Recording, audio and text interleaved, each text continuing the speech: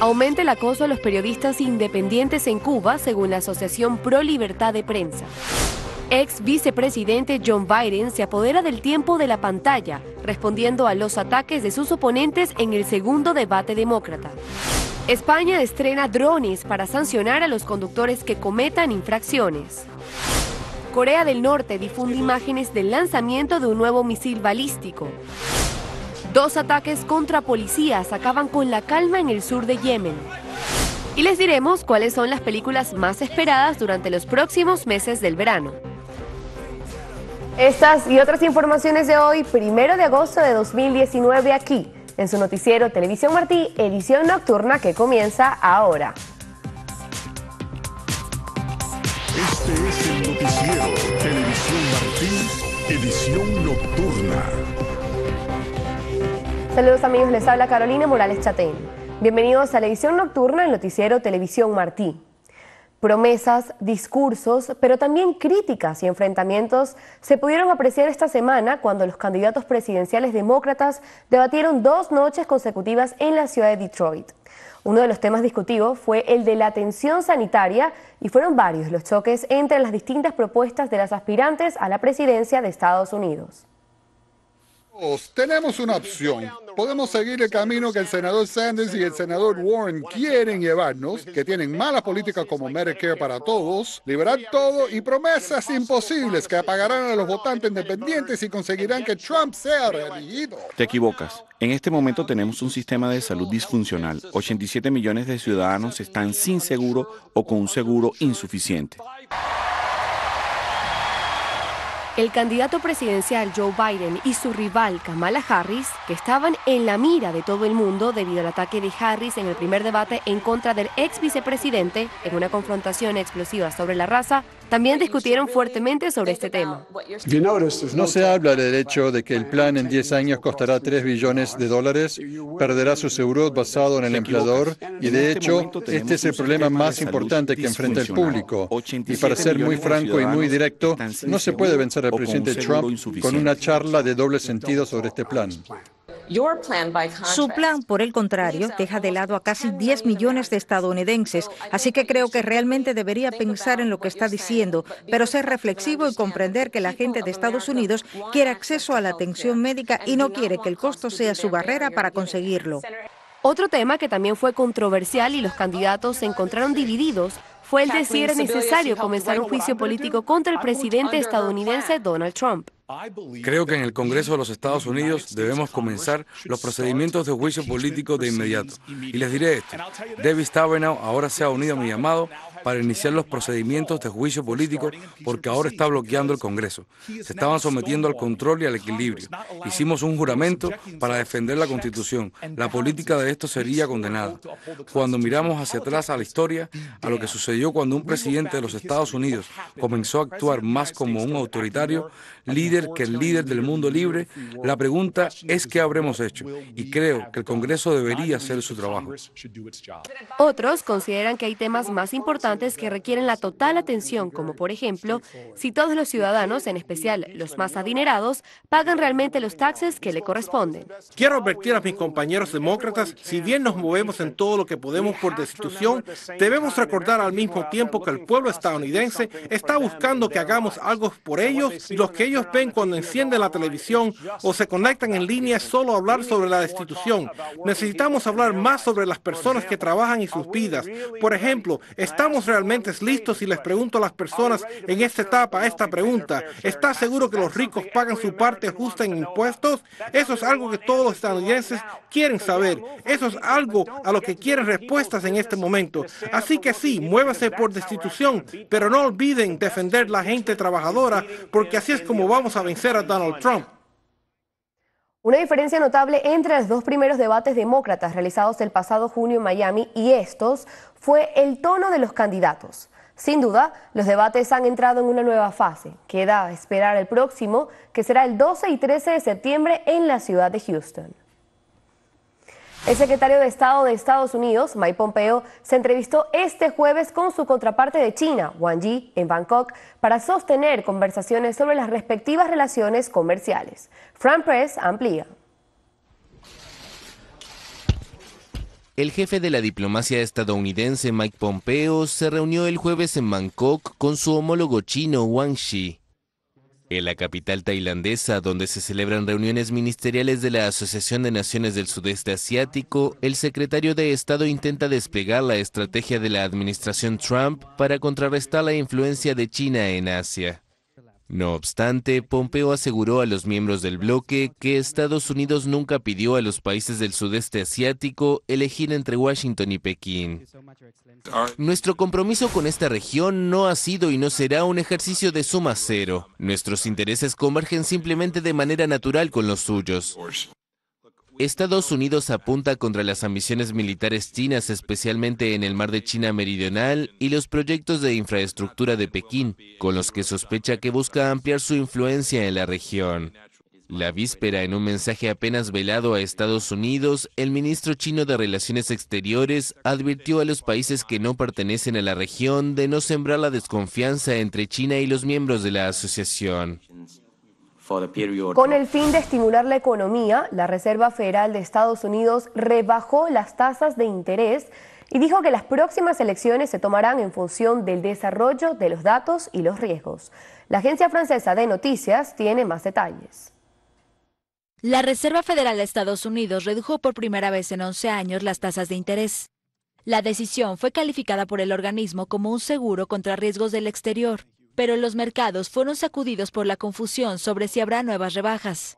Decidimos hoy reducir el objetivo de la tasa de fondos federales en un cuarto de punto porcentual, en un rango de 2% a 2,25%. La perspectiva para la economía de los Estados Unidos sigue siendo favorable y esta acción está diseñada para respaldar esa perspectiva. Powell atribuyó el recorte a cambios en los indicadores económicos de este año, especialmente por las tensiones comerciales. Wall Street cayó luego de que el presidente de la Fed dijo que no está a las puertas de un prolongado ciclo de recortes. El índice Dow Jones llegó a perder 500 puntos y luego redujo pérdidas cuando Powell aclaró sus comentarios y cerró en baja de 1,2% con 300 puntos menos. Dos de los diez integrantes de la Fed votaron en contra de bajar las tasas y abogaron por no cambiarlas. El organismo también cesará desde el jueves su política conocida como endurecimiento cuantitativo, QT por su sigla en inglés. Esto significa que la entidad dejará de reducir los enormes activos acumulados para apoyar a la economía durante la crisis financiera de 2008. El presidente de Estados Unidos, Donald Trump, cuya política comercial tiene en vilo al mundo y complica la Reserva Federal, saludó el fin del QT, pero escribió en Twitter que Powell decepcionó como siempre, porque afirma que el mercado quería oír el inicio de un prolongado y agresivo ciclo de rebajas de tasas, que pondría su país al ritmo de China, la Unión Europea y otros países. La Fed, que es un organismo independiente, advirtió antes que las decisiones de la entidad dependerán de la evolución de los datos y de los riesgos. Hacemos nuestra primera pausa, pero antes queremos enviarles un saludo a los que nos ven por Facebook Live, nuestro canal de YouTube y el Cañonazo. Sigan con Televisión Martí, ya volvemos.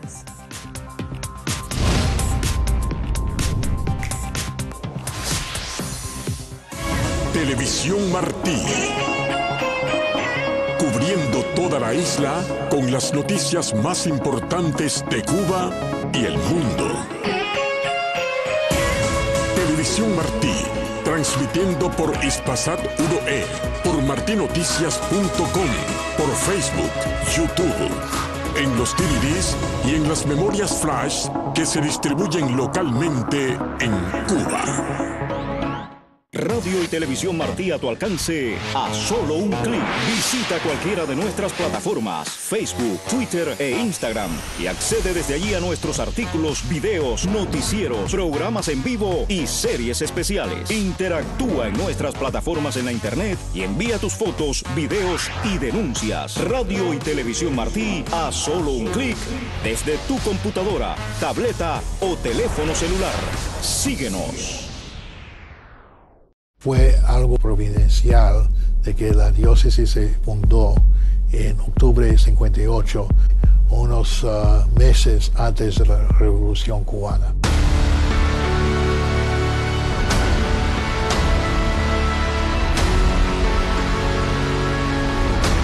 Que la ermita es un pedazo de Cuba y un momento de la historia de Cuba.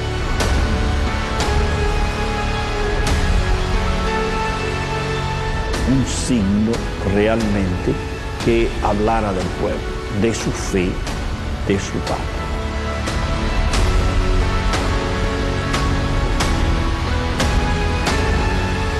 Ese santuario verdaderamente está empezando a vivir el sueño de Román.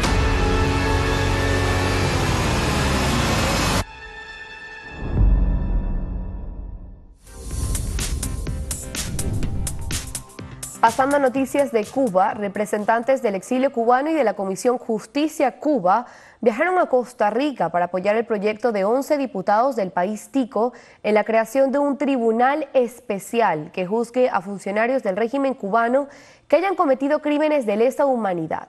Ricardo Quintana tiene los detalles.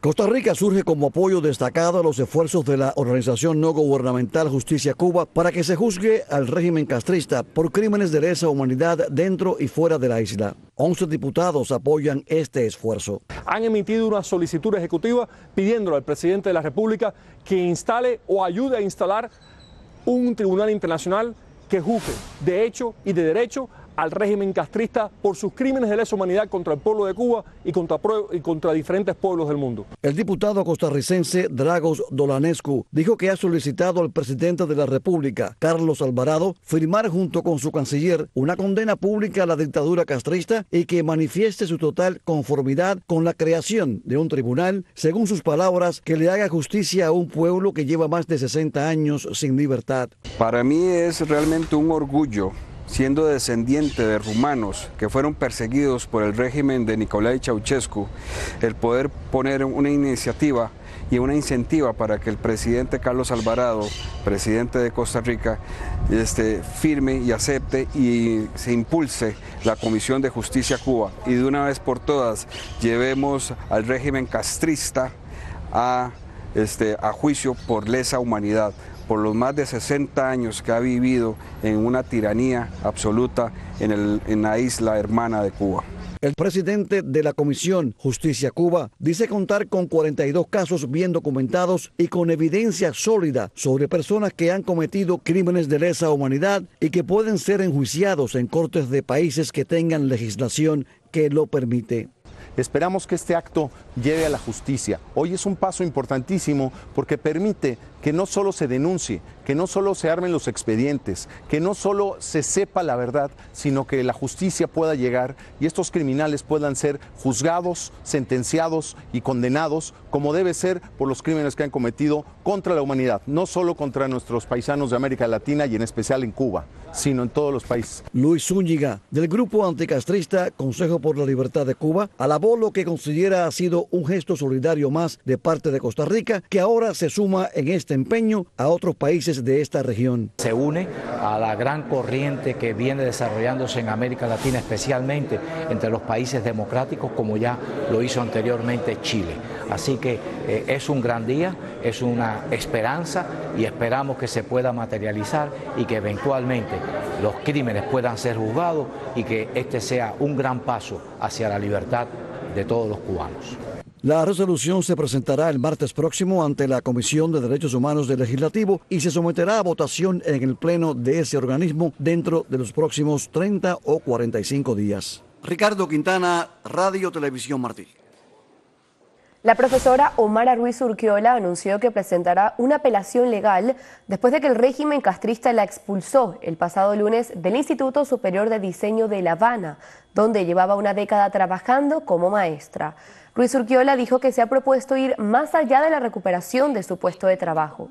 No solamente estoy pidiendo la restitución de mis fueros profesionales, yo estoy pidiendo además un resarcimiento moral y estoy pidiendo la separación del cargo de estas personas que han delinquido, dijo la también activista de derechos humanos a radio televisiónmartí.com desde La Habana. Ruiz Urquiola se refiere al director del instituto, Sergio Luis Peña Martínez, y a su jefa de departamento, licenciada en Psicología del Instituto Pedagógico.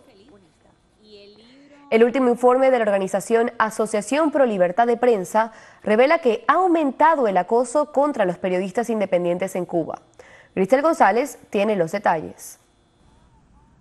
En la primera mitad del 2019 aumentó la represión contra la prensa independiente en Cuba, según el informe de la Asociación Pro Libertad de Prensa con sede en La Habana. Su director José Antonio Fornaris habló con Radio Martí.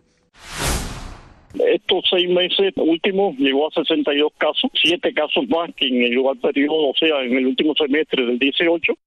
La libertad de expresión no ha mejorado en lo más mínimo, dijo Fornaris.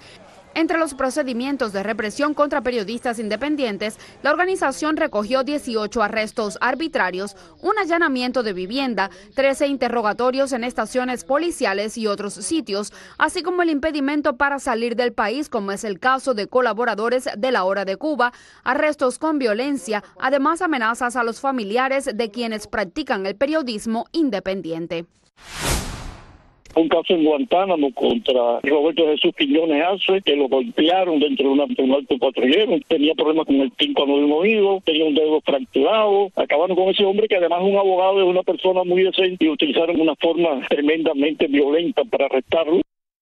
Los integrantes del medio de prensa independiente Palenque Visión son de los más perseguidos. La casa de su director Rolando Rodríguez Lobaina fue objeto de una agresión, dijo el propio periodista a Radio Martí personas que lanzaron huevos a la casa mientras estaba en el domicilio mis tres hijos.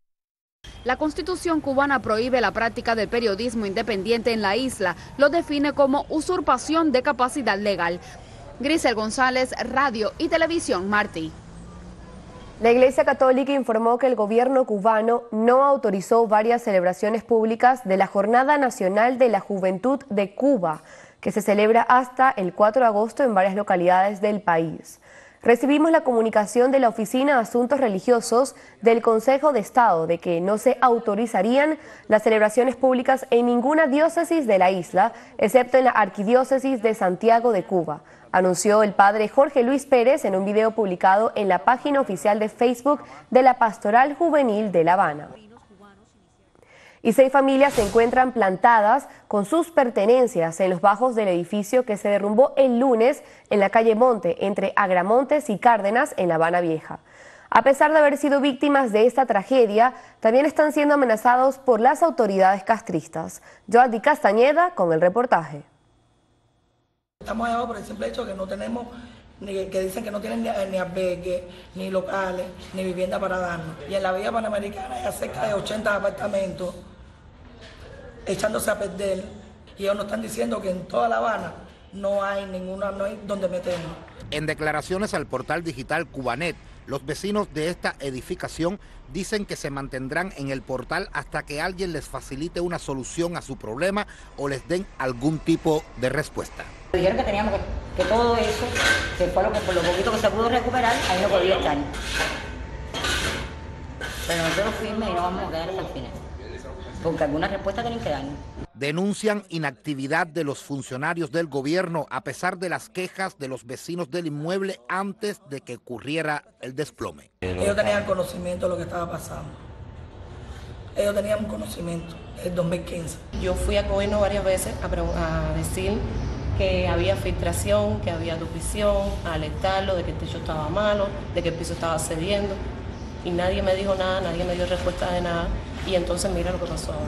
Hace cuatro días estamos esperando a la arquitecta antes que sucediera lo del derrumbe, ¿no? Y la arquitecta jamás apareció. Y no sucedió más porque nosotros nos dimos cuenta, ¿eh? unos minutos antes, que se iba a caer. Si no, ¿eh? a todo el mundo ¿eh? lo hubiera matado. Incluso los han aislado y escondido para que no se vea el estado de su situación. Como ahí venía de acá, que hicieron? Te cerraron la cuadra, pusieron camiones para que no hubiera y no pasara por todo esto. Para que no llegara el que hicieron, cerraron camiones de volteo, que esos camiones nunca lo habían hecho, los parquearon en la esquina, tapando, ¿eh? ¿para qué? Para que no se viera. Entonces, no, no, pasó por acá. ¿Para qué? ¿Para qué? Cerrado allá, cerrado aquí. Si pasa, no ve nada. Y entonces no podías estar allá afuera, no podías tener que estar sentado. No, pues, ¿para qué? Para no ser bulto, para que no se supiera. Entonces los obligaron a. Ah, claro. A entrar para adentro. Ahí. Entonces corriendo. No, sin haber terminado de apuntar, mandaron a los vecinos a subir allá. Suban, suban, suban para arriba. ¿Para qué? Para que no hicieran bulto de abajo. Hoy están sin esperanza y amenazados por las autoridades castristas. Entonces el presidente del gobierno de La Habana Vieja me ha dicho a mí personalmente que si yo no quitaba el catre y la cosa ahí de la calle, me iba a meter preso y lo iba a romper todo. Y nos están amenazando. Mi sobrina eh, le está aclarando a él de lo sucedido, preguntándole qué iban a hacer con ellos, que están en la calle, que hay niños en la calle. Dijo que eso no era su problema. Y yo le digo, ¿cómo no va a ser su problema si usted es jefe del gobierno y ahí hay niños que están durmiendo en la calle?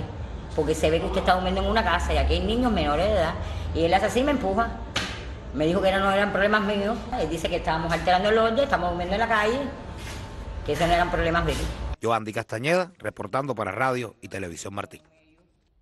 La cadena hotelera Meliat atribuyó la caída de sus ingresos en Cuba al empeoramiento de las relaciones entre Washington y La Habana y al aumento de la competitividad en otros destinos de la región.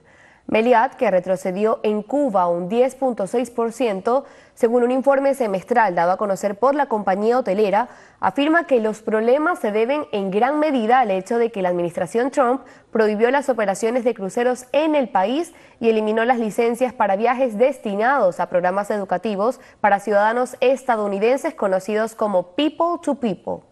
Por su parte, el economista cubano Elías Amor Bravo dijo que la situación del turismo en Cuba no está relacionada con las medidas de Trump que se acaban de adoptar y muchas de ellas ni siquiera han entrado en vigor. En declaraciones a Radio Televisión Martí, Amor Bravo indicó que las causas del retroceso de Meliat hay que buscarlas en la situación internacional del turismo y en las particularidades del sistema cubano. Regresamos en breve con noticias de América Latina, gracias a los que nos escuchan por nuestra frecuencia de onda corta. Sigan con el noticiero Televisión Martí, edición nocturna. Ya volvemos.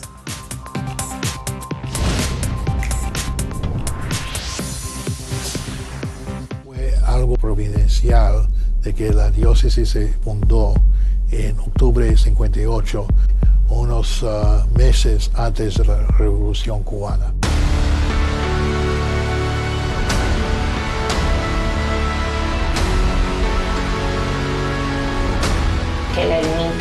Es un pedazo de Cuba y un momento de la historia de Cuba.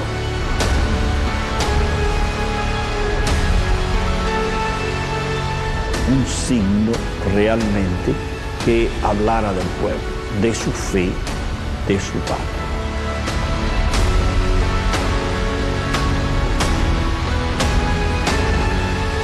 que ese santuario verdaderamente está empezando a vivir el sueño de Román.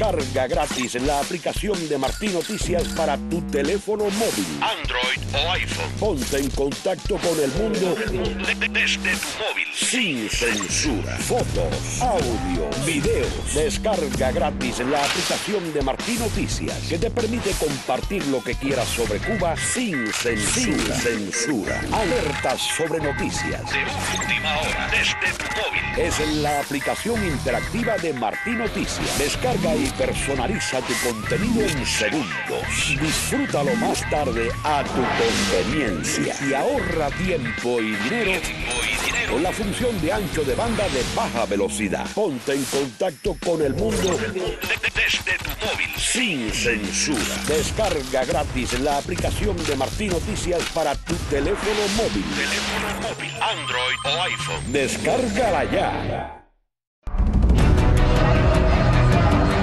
Soberana Asamblea Nacional, reconocido así por todo el mundo y los venezolanos. Nuestro país vive hoy momentos muy difíciles. Amanecerá otra Venezuela.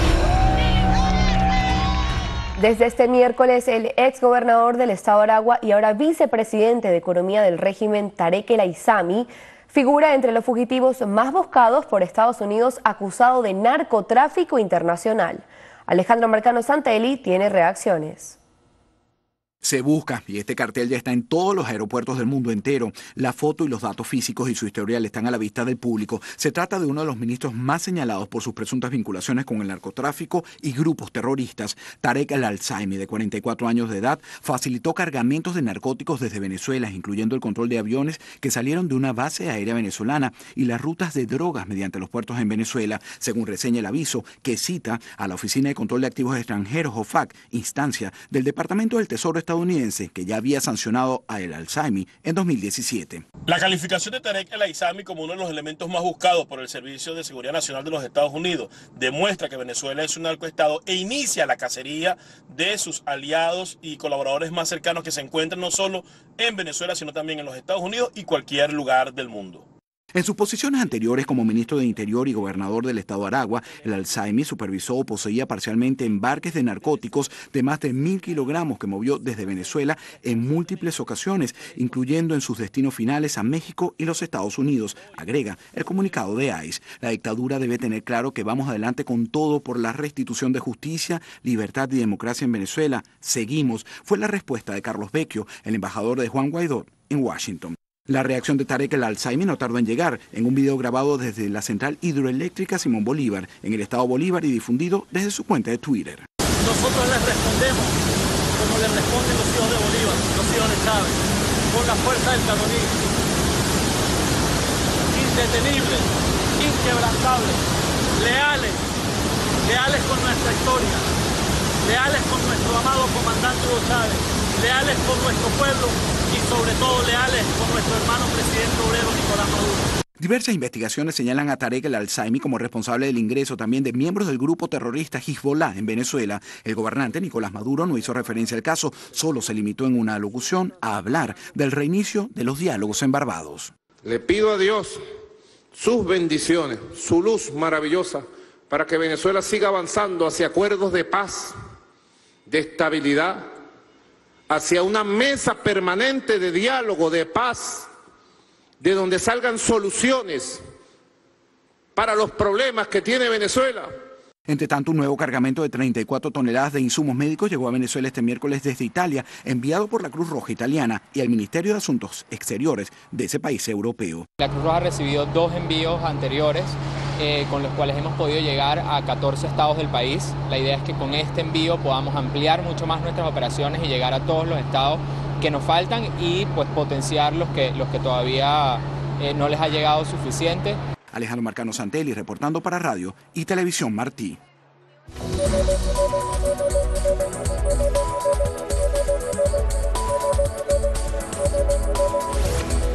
Paraguay ya tiene nuevo canciller.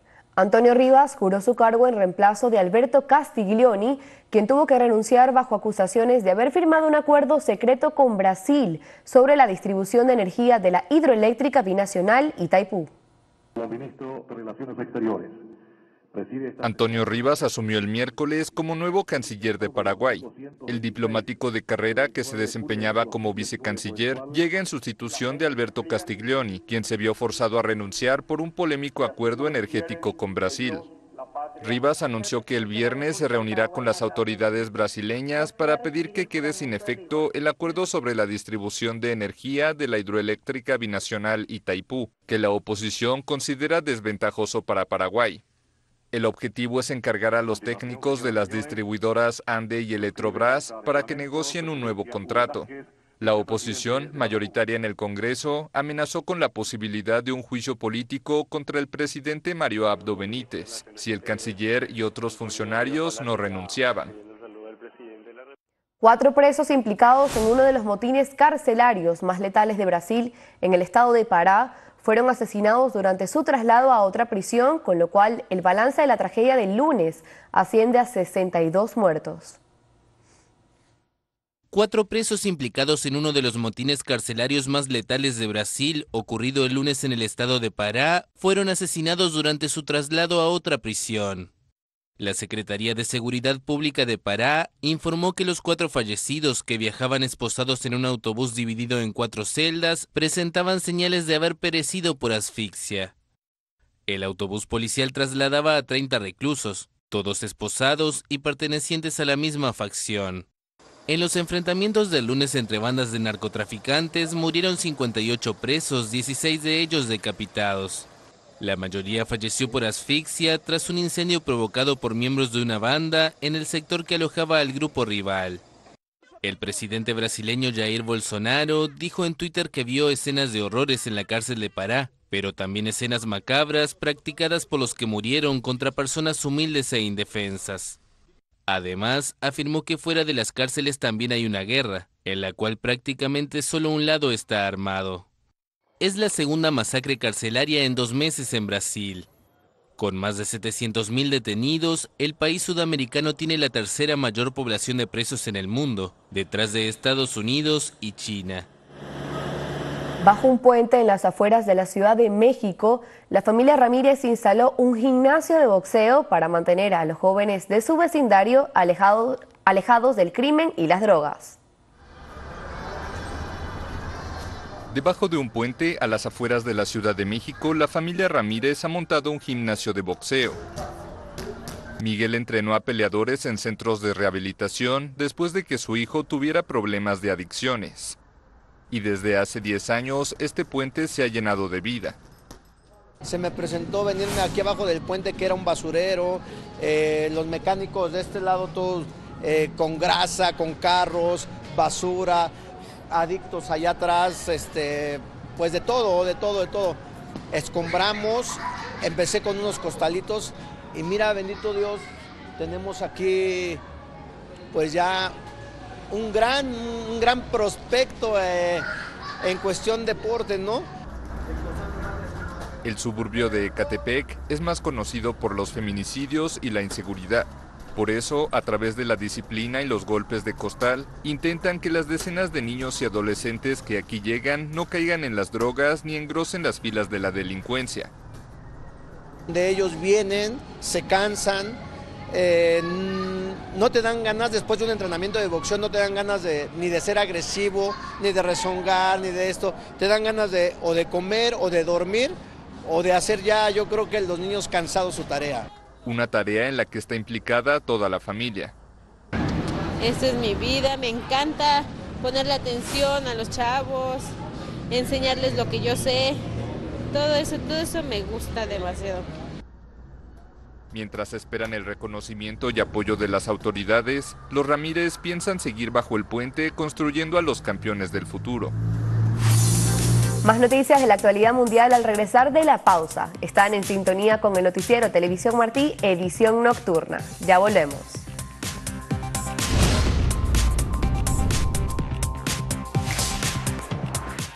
Televisión Martí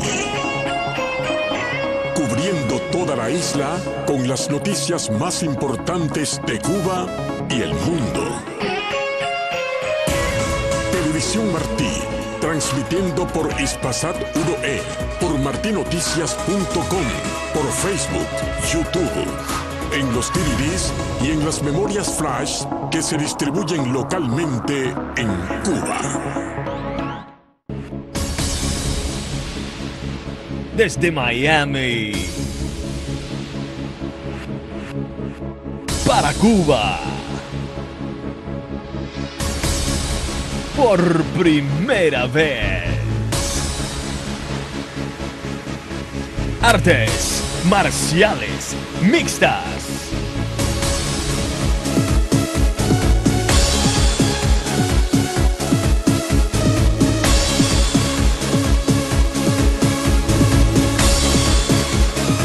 por TV Martín.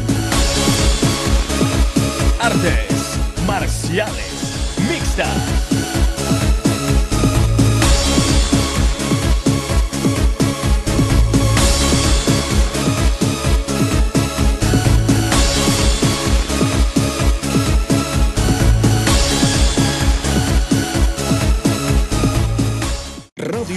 Martí a tu alcance a solo un clic. Visita cualquiera de nuestras plataformas, Facebook, Twitter e Instagram y accede desde allí a nuestros artículos, videos, noticieros, programas en vivo y series especiales. Interactúa en nuestras plataformas en la internet y envía tus fotos, videos y denuncias. Radio y Televisión Martí a solo un clic desde tu computadora, tableta o teléfono celular. Síguenos.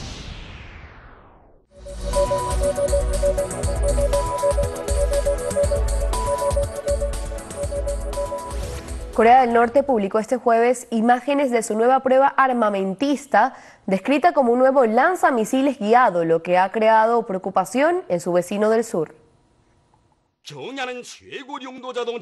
Corea del Norte difundió el jueves imágenes de su último ensayo armamentístico. La secuencia de fotos retransmitida por la televisión estatal KCTV mostraba al líder Kim Jong-un supervisando el miércoles un lanzamiento desde lo que parece ser un puesto de comando móvil. En un movimiento inusualmente secretista, algunas de las imágenes estaban pixeladas y las fotos originales no fueron publicadas por la agencia oficial KCNA. Esto sugiere que Pyongyang no ha mostrado previamente el nuevo sistema en uno de sus desfiles militares y que estaba tratando de ocultar alguna de sus características. Tras el lanzamiento, Corea del Sur afirmó que el ensayo incluía dos misiles balísticos de corto alcance que volaron 250 kilómetros antes de caer en el mar. KCNA lo describió como un sistema guiado de lanzamiento múltiple de cohetes de gran calibre recientemente desarrollado, cuyo uso principal sería en operaciones militares terrestres. El ejército chino lanzó serias advertencias a los manifestantes antigubernamentales de Hong Kong mediante un video mostrando su extenso arsenal antidisturbios y un duro discurso del comandante militar en jefe en la ex colonia. La agencia francesa de prensa amplía. Una advertencia para los manifestantes pro democracia en Hong Kong. El ejército chino divulgó un video que muestra el uso de tanques, porras, gases y chorros de agua contra manifestantes que acaban esposados. El video es acompañado de una leyenda en la que los militares expresan su confianza y capacidad para mantener la seguridad en el territorio semiautónomo. En una banderola roja, los soldados advierten, dejen de atacar o utilizaremos la fuerza. El video fue difundido el mismo día en que decenas de personas comparecieron ante la justicia en Hong Kong, acusados de haber participado en disturbios durante manifestaciones el fin de semana. Hasta ahora, el ejército chino se había mostrado discreto ante las protestas en el territorio. Dos ataques mortíferos contra policías interrumpieron el jueves un periodo de relativa calma en el sur de Yemen. Uno de ellos fue reivindicado por los rebeldes hutíes y el otro por yihadistas. Dos ataques contra fuerzas entrenadas por Emiratos Árabes rompieron el jueves un periodo de relativa calma en el sur de Yemen. Los rebeldes hutíes reivindicaron un atentado contra un cuartel policial en el que usando un misil y un dron se dirigieron a un desfile organizado con motivo de la graduación de policías recién formados. Poco antes, en el centro de Adén, un coche bomba explotó a la entrada del cuartel general de las fuerzas del orden, cuando los policías se reunían para saludar la bandera nacional. Responsables de seguridad atribuyeron el atentado a los yihadistas. Yemen, el país más pobre de la península arábiga, vive un sangriento conflicto desde que en 2014 los rebeldes hutíes chiitas apoyados políticamente por Irán tomaron Sanaa. Desde 2015, las fuerzas progubernamentales ayudadas por una coalición liderada por Arabia Saudita tratan de expulsar a los insurgentes. Más de cuatro años después de la intervención, los hutíes siguen controlando grandes zonas del oeste y el norte, mientras que el sur está principalmente bajo control de las fuerzas progubernamentales. A inicios de julio, Emiratos Árabes Unidos, que integra la coalición, anunció su intención de reducir sus tropas en Yemen para pasar de una estrategia de guerra a una lógica de paz. Las autoridades de, de, Vialidad Española ahora tendrán ojos en el cielo con la ayuda de drones equipados con cámaras que servirán para vigilar y sancionar las infracciones de tráfico en las carreteras. Las multas empezarán a caer desde el cielo en España. Desde el jueves, el país europeo utiliza drones equipados con una cámara de alta definición para vigilar y sancionar las infracciones de tráfico. En su fase inicial, el operativo se pondrá en marcha en la región de las Islas Canarias, para luego extenderse al resto del país. Los drones pueden detectar infracciones como los adelantos peligrosos, el uso del teléfono móvil al volante, pasarse una luz roja o la falta de cinturón de seguridad, pero aún tienen una carencia importante. Gracias a la potente óptica que, como indicaba, tiene estos sistemas, eh, podemos eh, visualizar el interior de los vehículos y detectar a, conductores haciendo uso de, móviles al volante o, eh, conductores que no, tienen, no tengan sistemas de retención, cualquier tipo de, de infracción. Hasta ahora no contamos con la capacidad de detectar excesos de velocidad. Muchas ciudades chinas ya usan drones para la seguridad vial y en Europa existen iniciativas experimentales. España ya disponía de estos aparatos para vigilar la circulación, pero es la primera vez que serán empleados para imponer multas. Las autoridades prevén que 47 millones de pacientes veraniegos recorrerán en agosto las carreteras españolas, en las que en 2018 murieron casi 1.200 personas. La iniciativa del dueño de una librería en el barrio parisino de Gobelins ha, cumplido su objetivo, iluminar las caras de los transeúntes con una sonrisa. La agencia francesa de prensa amplía. En este barrio parisino, osos de peluche gigantes han tomado las calles. Se asoman por ventanas y balcones, conducen motocicletas o duermen una siesta bajo un árbol. El dueño de los osos es un vendedor de libros del lugar que asegura que no fue un truco publicitario, sino que quiso simplemente generar una sonrisa. Habría podido viajar mucho con ese dinero, pero preferí... Hoy esto despertó el barrio. Cuando ves todas esas sonrisas, no hay necesidad de ir lejos. Puedes pasear por Gobelin, sentarte en un café, sacas al tío Jules a cualquier lado y observas el espectáculo. Y lo logró. Los osos de Gobelin se volvieron extremadamente populares. Todo el mundo se sumó al juego y lo encuentro muy divertido. Vuelve el barrio un poco más alegre. Otros comerciantes también se sumaron a la iniciativa. Es por solidaridad con los comerciantes del barrio, no tiene un objetivo preciso. Es simplemente para hacer sonreír a la gente cuando pasean y dar otra imagen de un barrio parisino. Y los osos de Gobelin muestran cada día que se han integrado perfectamente a la vida del barrio. Amigos, hacemos nuestra última pausa y al volver, Víctor Fabián González nos trae toda la información deportiva aquí en el noticiero Televisión Martí, edición nocturna.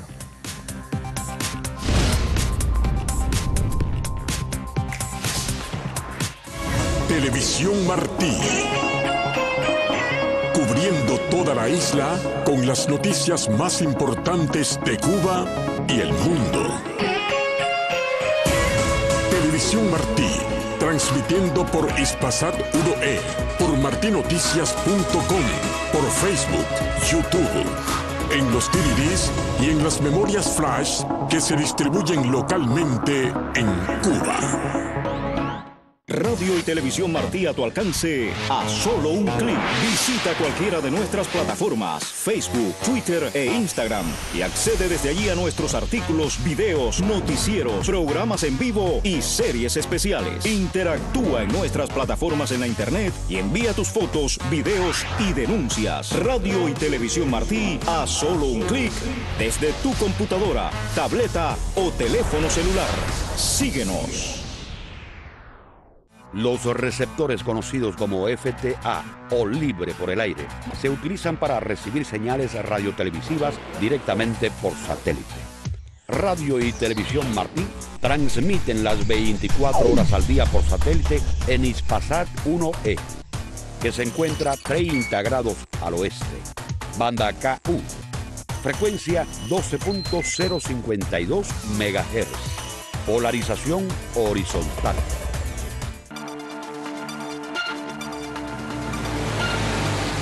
Soy tu amigo Pepe Forte, conductor de Automanía, el programa más veloz de la televisión del mundo, donde siempre comentaremos todo, todo cuanto acontece en el siempre fascinante mundo del automóvil. Automanía, aquí en Radio Televisión Martí.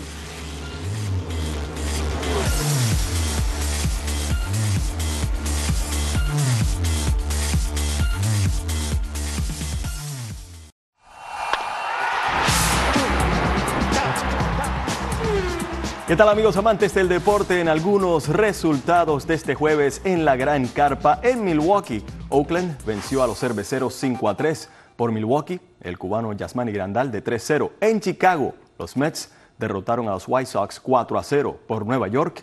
El cubano Adeni Echavarría se fue de 2-1 por Chicago, el cubano José Abreu de 4-1. Hablando de los White Sox, el equipo colocó al cubano Joan Moncada en la lista de lesionados. Ya les cuento. Los medias blancas de Chicago pusieron al tercera base cubano Joan Moncada en la lista de lesionados de 10 días con un tirón en el tendón de la corva derecha. Chicago hizo el movimiento antes del partido del jueves con los Mets, donde Moncada dejó el encuentro en la parte superior de la primera entrada. Moncada está bateando 3-0-1 con 20 jonrones y 59 carreras impulsadas en 97 juegos. El jugador de 24 años ha sido sólido en el campo en una temporada destacada y es considerado uno de los pilares jóvenes en la reconstrucción de la alineación de Chicago. Por otra parte, los bateadores de las grandes ligas están en camino de batear 600 honrones o más que en cualquier otra temporada anterior, casi un 10% por encima del récord establecido hace dos años. Hubo 1.057 honrones en julio, según el IA Sports Bureau, rompiendo el récord anterior de 961 en julio de 2004. Un total de 4.478 honrones fueron dados en 1.621 juegos hasta el miércoles, un promedio de 2,76 por juego. Los bateadores están en camino de sacar 6.700 12 jonrones, muy por encima del récord de 6.105 establecido en 2017 y un 20% más que los 5.585 del año pasado. En tanto, los fanáticos del fútbol en Corea del Sur están tomando medidas legales para buscar una compensación después de que Cristiano Ronaldo no jugara en un amistoso durante la gira de pretemporada de la Juventus en Seúl la semana pasada. Ronaldo había sido contratado para jugar al menos 45 minutos contra el K-League All-Stars, según los organizadores del evento The Fasta Inc., pero finalmente se quedó sin jugar todo el partido en un estadio repleto en Seúl. Una comunidad en línea en el portal Naver de Corea del Sur protestó por la falta de participación de CR7 y dos miembros contactaron al abogado Kim Min Ki para presentar una demanda contra los organizadores del partido. Estas fueron las palabras del abogado. La circunstancia especial de este incidente es que la compañía de Fasta engañó y usó a los fanáticos de Cristiano Ronaldo para su propio beneficio. Para los fanáticos de Ronaldo esto equivale a perder al jugador al que habrían admirado y apoyado toda su vida. En otra nota, las carreras de caballos son un deporte dominado por los hombres en Brasil, pero Gina Alves, de 30 años, del noreste del país, está cambiando la dinámica del deporte como la única jinete femenina activa en Sao Paulo. Hay alrededor de 25 jinetes que participan en las carreras de caballos en Sao Paulo, incluida otra jinete que se pierde la temporada debido a una lesión en el hombro. Gina Alves se convirtió en la primera mujer en ganar el campeonato de carreras de caballos en 2017. En 2018 también fue una de las dos mujeres que compitieron en el Gran Premio de Brasil. Alcanzar el pináculo no ha sido fácil para Alves, se ha enfrentado al sexismo con muchos dueños de caballos que no le han dado una oportunidad a pesar de su talento. Sin embargo, ella ha perseverado debido a su pasión. Soy terca. Me gusta mostrar que las mujeres también pueden competir contra los hombres como iguales. Nada de este prejuicio tiene que terminar. Si una mujer trabaja duro, es dedicada y tiene potencial, es una cosa. Si ella no quiere trabajar y solo quiere sentarse, es diferente. Pero si ella trabaja día y noche y es tan dedicada como un hombre, creo que hay que darle una oportunidad. Y por último, una niña de 11 años en la ciudad ucraniana de Kharkiv se ha convertido en una sensación en las redes sociales después de mostrar su increíble rutina de boxeo con los ojos vendados. Un video filmado por el padre de Kira, Artem, había sido visto casi 84 mil veces este jueves. El padre de la joven le dijo a Reuters que Kira comenzó a boxear a la edad de 7 años y que a veces tenía el entrenamiento con los ojos vendados para mejorar sus habilidades. Y en los Panamericanos de Lima, los Estados Unidos está al tope de la tabla con 83 medallas en total, 35 son de oro. México y Canadá tienen ambos 53 medallas totales, le sigue Brasil con 52 y Cuba llegó a escalar al quinto lugar con un total de 28 preseas, 9 son de oro, 10 de plata y 9 son de bronce. Carolina. Víctor, ¿y tú crees que esa niña de 11 años, la ucraniana Kira se llama, tenga futuro? Porque puedo ver en el video y juega muy bien. ¿Crees que tenga futuro en el boxeo? Que sí tiene futuro. La muchachita de verdad que tiene unas condiciones maravillosas para su corta edad de 11 años. Creo que comenzó a, boxear con 7 años de edad. Significa de que tiene cierta preparación. Tiene un gran futuro esta muchachita ucraniana y le deseamos lo mejor a esa joven que tiene sueños como muchas otras en el mundo. Totalmente. Muchísimas gracias, Víctor. No, a ti, buenas noches.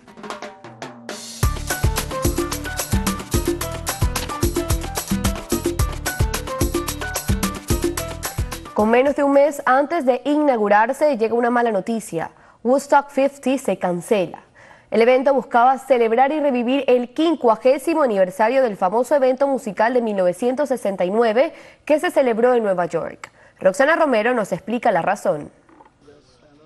Los organizadores de Woodstock 50 dijeron sentirse entristecidos al tener que cancelar lo que se anticipaba se convirtiera en uno de los eventos musicales más importantes del año. El concierto de tres días planificado para mediados de agosto fue cancelado tras una serie de contratiempos imprevistos que hicieron imposible de realizar el festival que los creadores imaginaron con una gran lista de artistas que iban a participar y el compromiso social que anticipaban, según confirmó uno de los organizadores. El equipo buscaba trasladar el evento al estado de Maryland, cerca de Washington, tras intentar realizarlo en dos diferentes sitios en Nueva York. Entre los artistas principales que iban a actuar se encontraban Miley Cyrus, Santana, Dead Company y Jay-Z, entre otros. Woodstock atrajo a una audiencia de más de 400.000 personas, anunciado como una exposición de acuario, tres días de paz y de música. 32 actos se realizaron al aire libre en Nueva York en 1969. Es considerado como un momento crucial en la historia de la música popular. Aún así, el evento original también estuvo plagado de contratiempos. Esos retos forman parte de un nuevo documental titulado Creando Woodstock. Roxana Romero reportando para Radio Televisión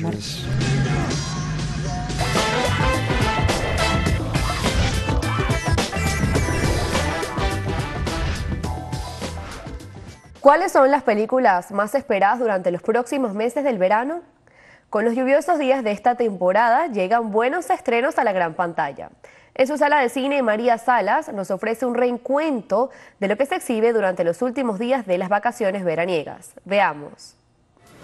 ¿Qué tal a todos? Aquí con ustedes María Salas, desde Miami Beach. Continúa el verano y los grandes estrenos en la gran pantalla. Esta temporada hay películas para grandes y chicos.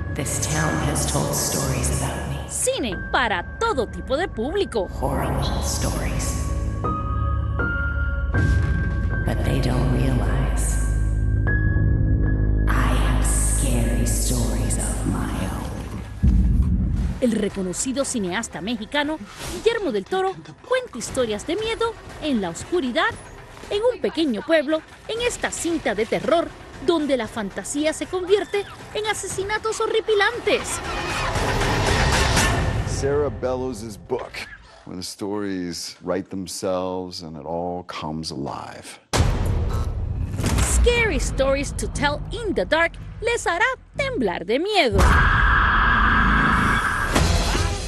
Melissa McCarthy, Tiffany Haddish y Elizabeth Moss son esposas de mafiosos en un barrio de Manhattan en la cocina del infierno.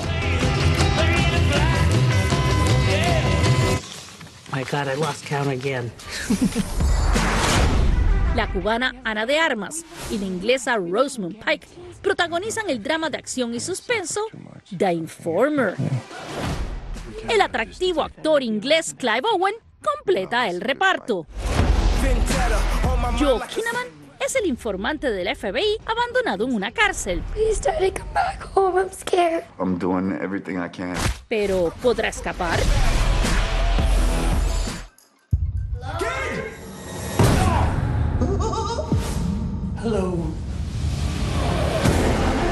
El payaso Pennywise regresa para aterrorizar al Club de los Perdedores nuevamente en la segunda parte de la historia de Stephen King. It, capítulo 2. Secret Service Director. Congratulations. El sexy escocés Gerard Butler repite el papel del agente del servicio secreto. What is that? Are they bats? The drones, the drones! Quien se convierte en el objetivo de unos terroristas en Angel Has Fallen, la tercera y última entrega de la saga. Y amigos, un verano no estaría completo sin terror a 47 metros.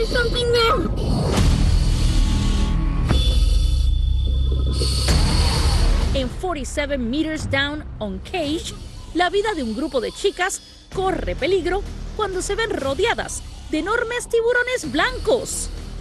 A nadar se ha dicho. Yo soy María Salas, para Televisión Martí.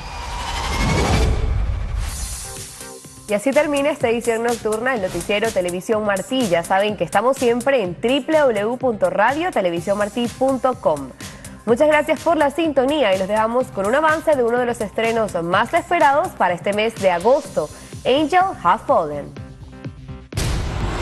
President's top guardian angel has fallen.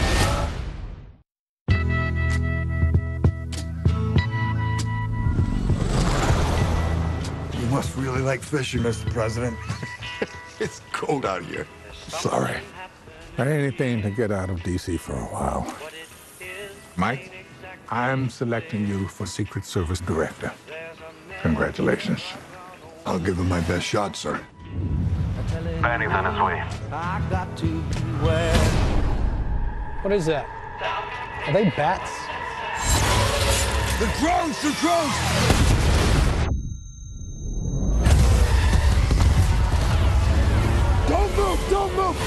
I'm coming to you! They're coming at you, Mark! Get them in the water! Get them! Go!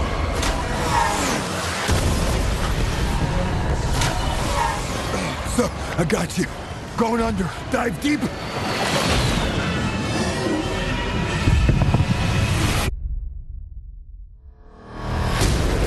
There's been an assassination attempt on the president. Mike Bannon, you're being charged with the attempted murder of the President of the United States.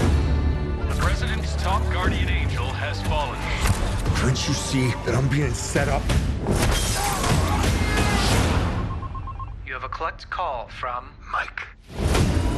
Body's cold, time is frozen. We've been getting death threats. There's somebody else behind us. It wasn't me. The president's not safe. They're gonna try and finish the job. And I'm not gonna stop until I prove who did this. All of you. How did you find me? I want security for the president. How do you think, Dad? I need your help. We gotta get out of here. I ain't going nowhere.